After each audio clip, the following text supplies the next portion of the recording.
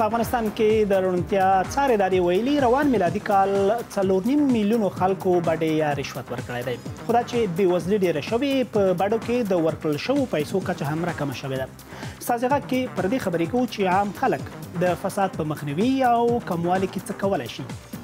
نو په پایل کې ورزو مزار شریف ته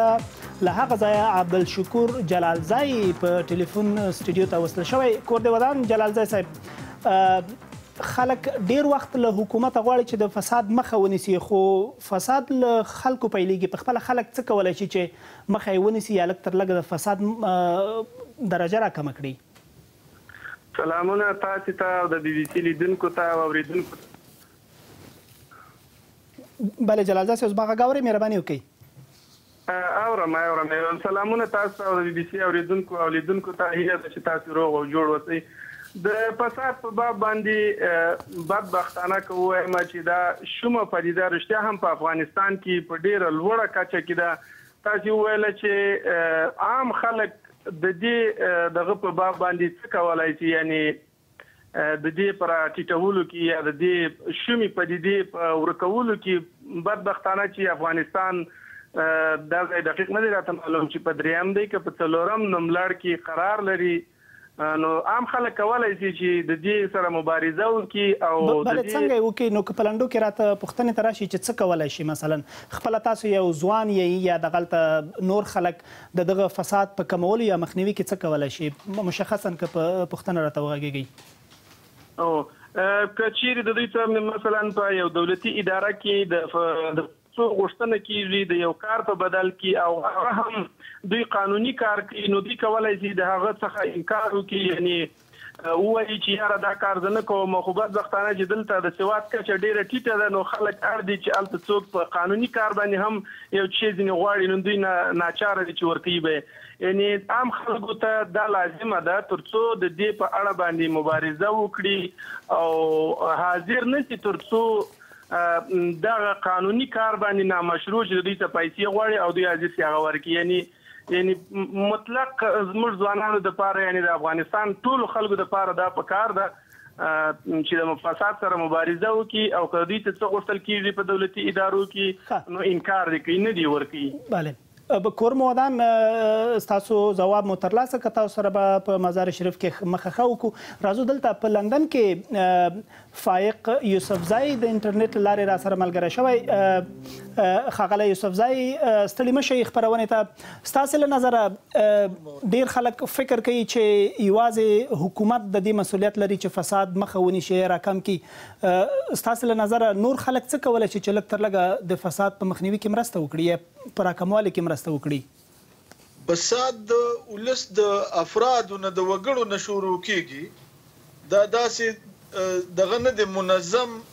عمل نه دی چې ګنې ډیرې لویې غټې ټولنې یې په شریکه کوي دا خو یو یو وګړی بیا د فساد د خبرو فساد دی د صحافت کې فساد دی بیا په صحت کې فساد دی په تعلیم کې فساد دی په درملتون کې فساد دی نو ددې فساد اثر هم په عام وګړوی او دې کې برخه وال هم عام وګړي نو عام وګړي کولی شي لکه دغه مخکې د هرات مرګري چې ووې چونکه بې سوادي ده د فیس په نامه د سرکاري ګمرک په نامه ددی نه خلک بډې رشوتونه اخلي نو پکار دا ده چې دی ددغې رسید ولري په دنیا کې چې د کمې پیسو رسید نه تا سره د هغې سند نی چی تا دا پیسی ورکړی دی نو دغه بډی رشوتونه دی په افغانستان کی د ولس د خبرولو دپاره پکار ده چی په سرکاری توګه باندی حکومت خلک په دی پوه کی چی بی رسیده بی سنده پیسی ورکول فساد او درغلی ده. ښه تاسو د کوزی پښتونخوا یاستی هلته هم خلک له فساد نه ډیر شکایت کوی. هلته خلک څه کولای شي چې تاسو مخکې ورته اشاره وکړه چې خلک په ډېرو ځایونو کې پیسې ورکوي، هلته خلک څه وکړي چې فساد د فساد مخه ونیسي؟ زمونږ په ستونزه کې او د ازاد وطن په ستونزه کې فرق دی، ستاسو په ازاد وطن کې د خلکو خپل وطن دی، وطن موري مونږ په یو ملک کې اوسو دغه ملک باندې واک او دغه چې نظام چې دی دا پردې دی پردي خلک تل لوټل کوي خو دې کې هم دې کې هم د دې خاورې مالکان د دې وطن بچي ککړ دي. زمونږ خبره چې بلې خوا ته لاړه نه شي تاسو راسره اوسئ موږ لږ دمه لرو له دمې وروسته راستنیږو همدې خپرونې ته ادامه ورکوو اوس یوه لنډه دمه اخلو.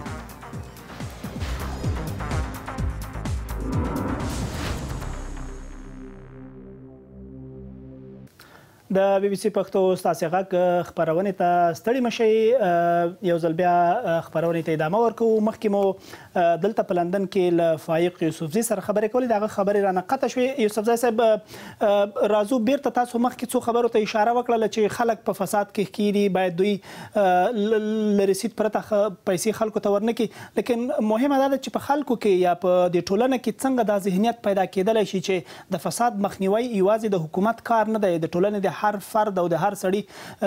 وظیفه ده چې د فساد په کموالي او مخنیوي کې برخه واخلي دا دا فکر به څنګه را پیدا کوو په دې خلکو کې؟ نو فکر ګوره فساد د حکومت نه نه شروع کیږي دا د وګړو نه شروع کیږي حکومت چی دا د وګړو د خوی د هغوی د ایمان د هغوی د ایماندارۍ هینداره وي پکار دا ده چی مونږ داسې خلکو ته رایې ورنه کړو، داسې خلک حکومتو څوکو ته ونه لېږو چې هغه سبا زموږ وطن لوټي، وطن خو موري، خلک خپله مور خاینانو ته نه سپاري، دا عام وګړي کولی شي د ټاکنو په وخت کې بیا فساد چې دی دا د انساني انفرادي خوی برخه ده، یو ماشوم چې په مکتب کې خپل ملګري ته ګوري دی فساد زده کوي یا امانت زده کوي. زوی چې پلار ته ګوري، رور چې خور ته ګوري، خور چې رور ته ګوري، مور چې ماشومانو ته په کور کې ډوډی ورکوي، دا هم د ماشومانو لپاره د زده کړې یو دغی چې د دوی مور خپل پردی کوي که نه کوي. نو فساد به وګړي رامنې کوي، حکومتونه فسادونه نه شي بندولی. ښه ډېره مننه یوسف زی صاحب کور دی ودان چې خپرونه کې مو برخه راسره واخیسته تاسو سره به همدلته مخه ښه وکړو ورځو جرمني ته له جرمني عادله مایار د ټلیفون پر کرښه سټډیو ته وصل شوې ښاغلی اغلې مایار خپرونې ته ستړي مشئ همغسې چې پوهېږئ له نیمایي یا تقریبا نیمایي د ټولنې وګړي مېرمنې دي خصوصا دوی څه کولی شي چې د فساد په کموالي کې برخه واخلي او یا یې راکم کړي؟ ډېره مننه، زما سلامونه او نېکې هیلې هم ومنئ. ام، د فساد خو یوه شومه پدیده ده، اداري فساد هغه شومه او بدمرغه پدیده ده چې د دولت په ټولو چارو یې خپلې منفي اغېزې لرلې دي او تر څو چې د دې بدې پدیدې ریښې تازه وي، ګرانه به وي چې د هوساینې او سوکالۍ په لاره تیر شو. ښه، نو چې خبره مو بلې خوا ته لاړه نه شي، مثلاً مخکې نورو میلمنو مو ورته اشاره وکړله چې فساد یوازې د حکومت کار نه دی د مخنیوی یې، بلکې عام خلک باید پکې برخه واخلي. ستاسې له نظره میرمنې په ځانګړي ډول هغه چې لوستې دي، په دفترونو کې کار کوي، هغوی څه کولای شي چې د فساد مخه راکمه کړي یا یې مخه ډب کړي، ځکه دوی هم ادارو ته ځي، دوی هم برخه اخلي په کارونو کې. موږ وړمه ورځ یو رپورټ درلودو چې څلور نیم میلیونو خلکو په افغانستان کې بډې ورکړې دي په دوه زره او اتلسم کال کې. طبیعي ده چې میرمنو به هم برخه پکې اخیستې. ستاسو له نظره میرمنې څه کولای شي چې د فساد مخه را ډب کړي؟ ډېره مننه. فساد په لغت کې ماتولو، نقضولو او په خوساغ کېدو ته وايي. او اداري فساد هغه غیرقانوني عمل او رفتار او سلوک څخه عبارت دی چې انتخابي، انتصابي، حاکم، واکمنان، مامورین او کارکوونکي له عامو بنسټونو او منابعو څخه د خپلو شخصي ګټو په موخه له ځواک، صلاحیت او مسؤلیت څخه ناوړه او غیرقانوني ګټه پورته کوي، رشوت، اختلاس، د اسنادو له منځه وړل، له قانوني صلاحیتونو څخه تجاوز، له موقف څخه ناوړه ګټه، د عدالت د پلي کېدو مخنیوی، له دولتي او حکومتي اکماناتو او له رسمي وخت څخه د شخصي چارو په موخه ګټه پورته کول. ښه، تاسو فکر کوم د فساد تعریف خوا ته لاړئ. کور مو ودان، تاسو سره به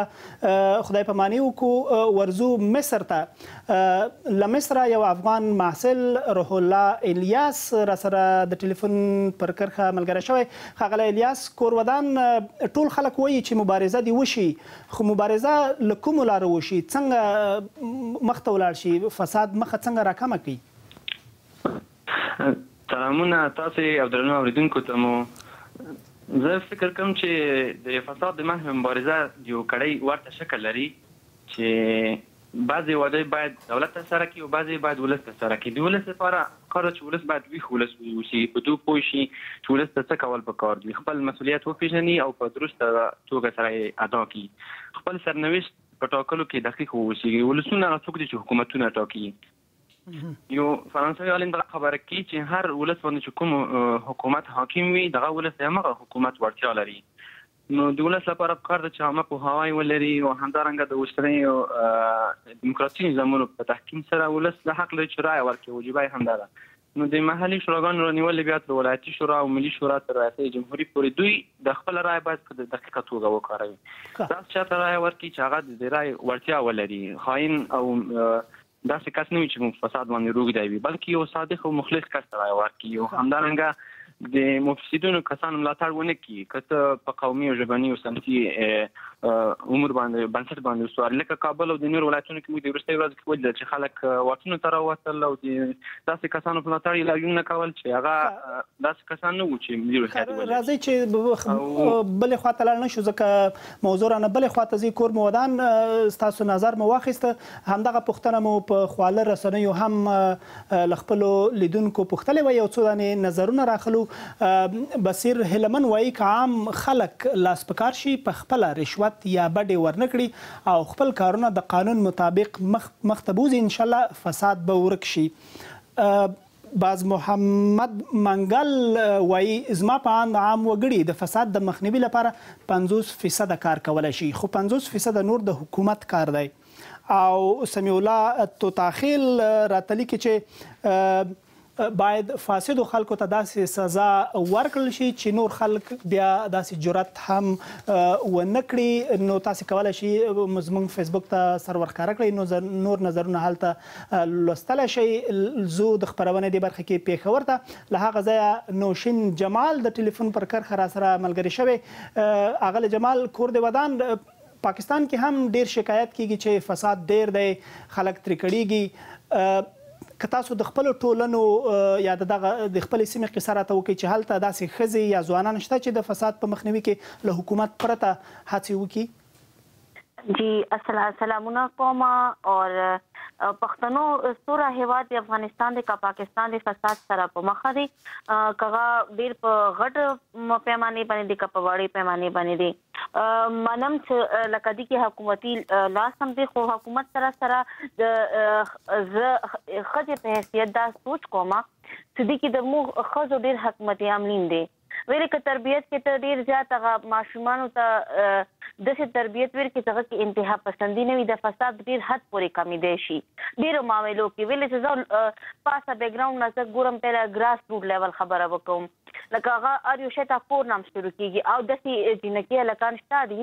زه يم چې دسې سيول سوسايټي زمونږ شته دي دسې تنظيمونه شته دي چې هغه ټايم په ټايم انتها پسندي خلاف خبرې هم کوي قدمونه مو چتوي موږ دا ښځی را جمع شوی موږ کابل ته هم لاړ وو کابل والا دغه ښځی را جمع شوی غا دزی هم راغلی وی ځه ایا دا فسادات په څه شی باندی دی او دی کمیدنو کومه لاره اختیار کیدای شی. لکن که یو څوک خپله ادارې ته ځی